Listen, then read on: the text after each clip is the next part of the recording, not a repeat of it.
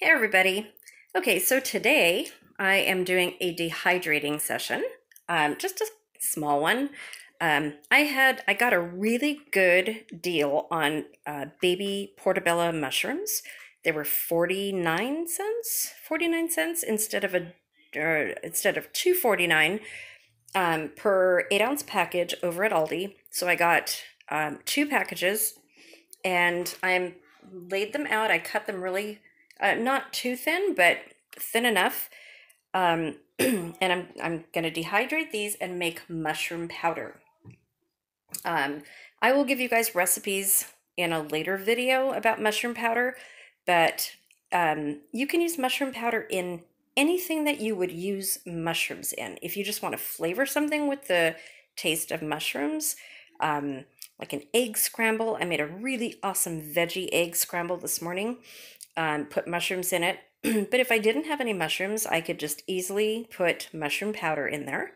Um, mushroom powder is good to thicken soups um, and stews, uh, just to add a, a another uh, variation of flavor to um, like a cream soup that you're making. Potato, if you're making potato soup, you can add mushroom powder and make a potato um, mushroom soup. Would be really good. Uh, so there's a lot of different ideas. Um, this is just going to be a really quick video just to show you guys what I'm doing. so I had some zucchini left over. And um, I'm going to do the same with these. These are all going to be powders. I, this is just one yellow crookneck zucchini that I got over at Aldi also. It was 19 cents. Um, and I got it. I got several of them. This is the one we, we were not using it. And um, we've used the other ones. I don't want it to go bad. So I'm going to dehydrate these and either put them in a jar and vacuum seal them whole um, I can get them into a half pint jar, I'm sure, because there's not that many of them. Um, or I can also make a zucchini powder out of them. I have a lot of yellow zucchini already dehydrated and ready to go for whatever I use it in. Um, again, soups and stews. I really don't reconstitute zucchini um, or mushroom. I more so add it into um, soups and stews. It's better that way.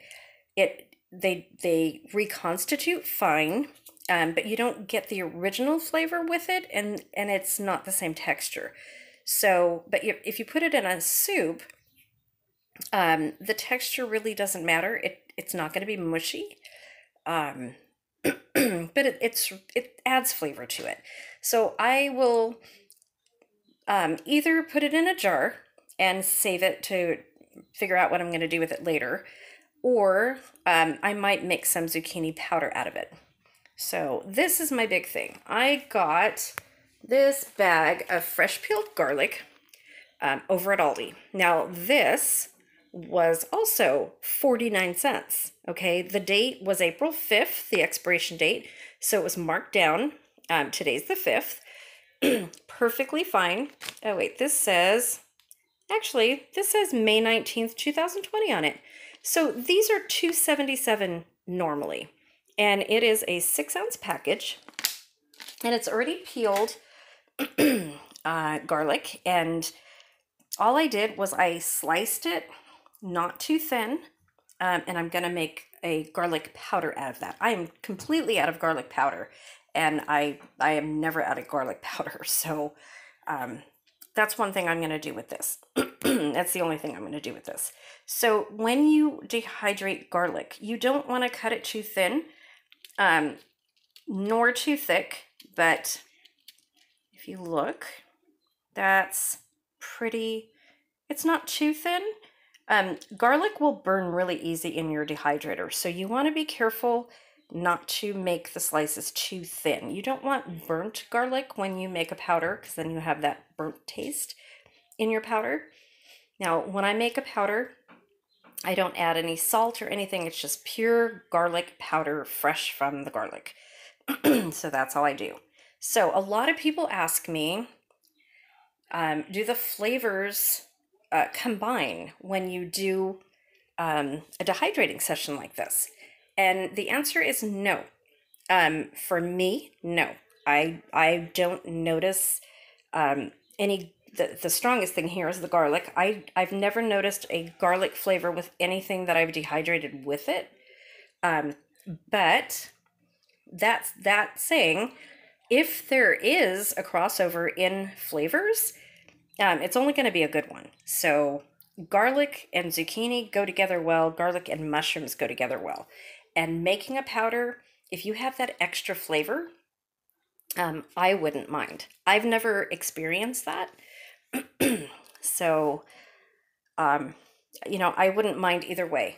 And a lot of people also don't dehydrate garlic in their homes, inside their homes. They do it either outdoors or in their garage because of the strong garlic flavor. Well, there again, I'm Italian. I love garlic. We we use a lot of garlic. So, I don't mind the house smelling like garlic at all because it smells like garlic, you know, at least once a week anyway, because I use so much of it.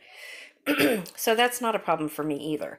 Um, a lot of people, when they dehydrate garlic or onions, they will put them outside, as I said, or they will um, put them in the garage in a, you know, some kind of storage or something and run the dehydrator there so that their house doesn't smell of garlic. To me, the smell of garlic is beautiful, so um, I don't mind at all. so that's what we're doing. Um, and this is my dehydrator. So I have it, it has its own little nook over here. It's an Excalibur. Um, I have the metal trays, and then I have um, these sheets that are reusable. They're um, not silicone.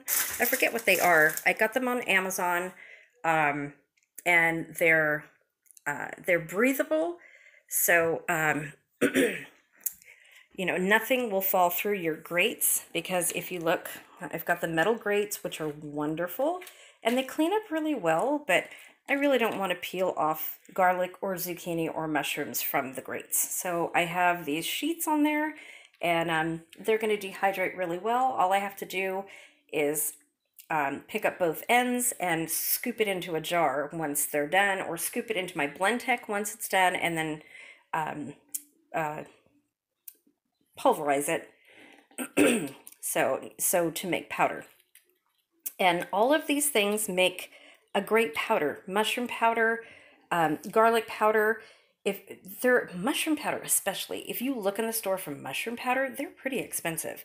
Um, but if you can do your own especially with baby portobellos that have an excellent excellent flavor um, if you can get a hold of these um, and dehydrate them and make your own mushroom powder it's awesome. Also, zucchini, um, it's a really, really good uh, vegetable. If you want to add some vegetables to a smoothie, zucchini and uh, spinach are really good. Dried spinach, you can add it to a smoothie. They are wonderful. Add vegetables to smoothies. Your kids will never know because it doesn't give it a whole lot of flavor, but you get the nutrients and everything in there. So um, I'm going to go ahead and put this in at 135 degrees. Um, and I'm to do it overnight. I will check it first thing in the morning. Uh, the zucchini and the mushrooms may dehydrate a little bit sooner than the garlic does. I have to really watch the garlic because I do not want it burnt. Oops.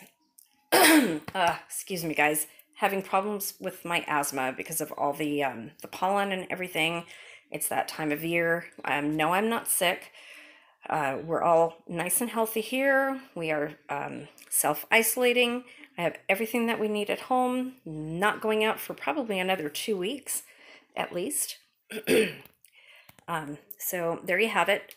And uh, coming up real soon, I'm going to do carrots and I've got cabbage. I've got two more just like this. And we are going to make sauerkraut. I've also got green beans that I'm going to can with this. These are pressure can. Uh, sauerkraut is water canned. And uh, we have a lot coming up. So stay tuned and subscribe if you're not already subscribed. I have a lot of dehydrating recipes that are going to be coming up. Next up after this is done is pineapple. I'm going to be doing pineapple again. Um, and it's going to be a little bit different. So, um, things that I've done in the past are going to be a little bit different because I've done all of these in the past. So, um, I'm I'm redoing some older videos that I've done. Um, just because I have so many new viewers and um, I want to give you guys all the opportunity to learn again. And um, I started on YouTube three years ago, and there's a lot that I've learned since then. You know, I had um, three Ronco dehydrators back then. Now I have an Excalibur, um, which is my dream dehydrator. So it dehydrates super quick and super efficient.